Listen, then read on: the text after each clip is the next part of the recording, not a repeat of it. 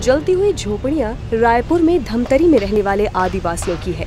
यहाँ दस झोपड़ियों में दो दर्जन से ज़्यादा लोग रहते थे, लेकिन अब इनके आशियाने जलकर खाक हो गए हैं।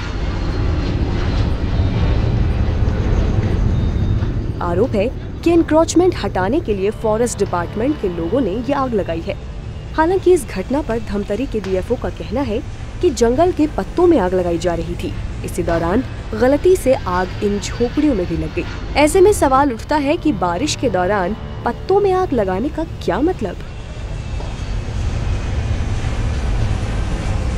आग लगने के बाद आदिवासी आसपास के गाँव में चले गए हैं, लेकिन अभी तक इस मामले में कोई एक्शन नहीं लिया गया।